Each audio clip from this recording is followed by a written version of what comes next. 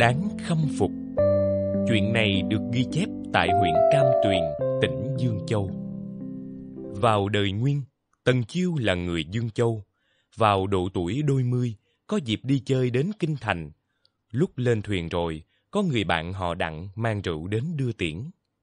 Đang lúc cả hai cùng nâng ly, bỗng có một cô gái tuyệt đẹp bước đến. Người bạn họ đặng liền bảo cô ấy thi lễ với Tần Chiêu, rồi nói. Cô gái này nguyên là nô tỳ có vị đại nhân ở một bộ nơi kinh thành đã bỏ tiền mua về làm thiếp. Nhân tiện chuyến đi này của anh, xin giúp đưa cô ấy đến chỗ ông ta ở kinh thành.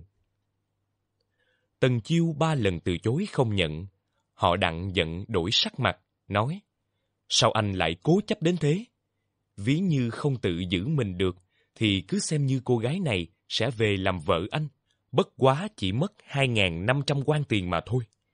Tần Chiêu bất đắc dĩ phải nhận lời đưa cô gái đi cùng. Khi ấy, tiết trời nóng bức, ban đêm nhiều mũi, cô gái khổ sở không ngủ được vì không có mùng. Tần Chiêu liền bảo cô vào ngủ chung mùng với mình. Hành trình theo đường sông phải mất 10 ngày như vậy mới đến Kinh Thành. Tần Chiêu gửi cô gái cho bà chủ quán trọ, tôi tự mình mang thư của người bạn họ đặng đến cho vị đại nhân kia. Ông ta dọ hỏi. Anh đi như thế, có người nhà cùng đi chăng? Tần Chiêu đáp. Không, chỉ có mỗi mình tôi thôi. Ông ta nghe vậy, bỗng nhiên biến sắc, lộ vẻ giận ra mặt. Nhưng vì có thư của họ đặng, nên phải miễn cưỡng cho người đón cô gái kia về nhà. Đêm ấy, ông ta mới biết cô gái chưa từng thất thân. Trong lòng tự thấy hết sức xấu hổ. Hôm sau lập tức viết thư cho họ đặng, hết lời ngợi khen đức hạnh của Tần Chiêu. Ông lại đến thăm Tần Chiêu, nói Ông quả là người quân tử, đức độ cao vời, xưa nay ít có. Hôm qua tôi hết sức nghi ngờ việc ông đi chung thuyền nhiều ngày với người thiếp của tôi. Quả thật là đã lấy bụng tiểu nhân, đo lòng quân tử. Tôi lấy làm hổ thẹn vô cùng. Lời bạn Tâm địa của Tần Chiêu, nếu chẳng phải hoàn toàn không bị dục tính của con người chi phối, chỉ một mực vâng theo lẽ trời, thì khi cùng với một cô gái tuyệt đẹp như thế, ăn cùng mâm, ngủ cùng chiếu trong suốt 10 ngày dài, làm sao có thể không khởi lên chuyện dục tình? Tần Chiêu như thế, cố nhiên đã là một bậc quân tử đức hạnh, nhưng cô gái kia cũng là một trang thục nữ trong trắng thanh cao. Đức hạnh cao vời và tấm lòng trinh trắng thanh cao ấy thật khiến cho người ta phải hết sức khâm phục ngưỡng mộ.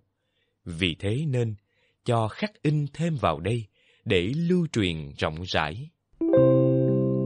Năm dân quốc thứ 11 nhâm tuất tức là năm 1922 thích ấn quan kính ghi.